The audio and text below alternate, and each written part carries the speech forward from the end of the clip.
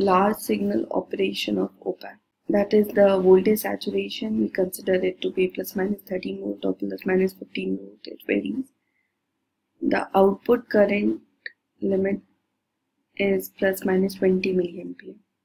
The slew rate is the maximum change of the output voltage in reference to the input voltage in terms of its frequency. Okay, the rate in terms of its frequency and also the rate. The rate of change of possible output at the possible value at the output of a real op-amp. The slew rate is differentiation of output voltage with respect to the input voltage. The full power bandwidth Fm is SR upon 2 pi V naught.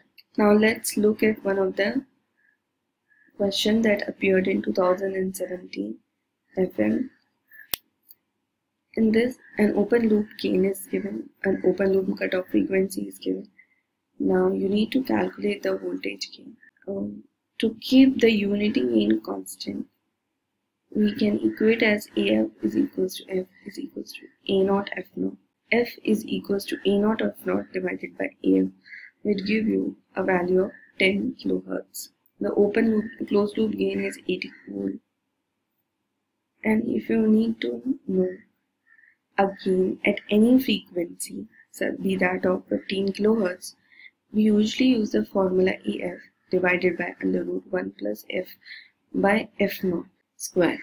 80 divided by 1 plus 15,000 divided by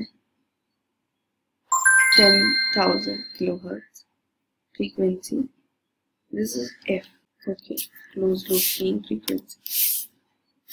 Or you can say this is F of F which is 44.3 volts. Okay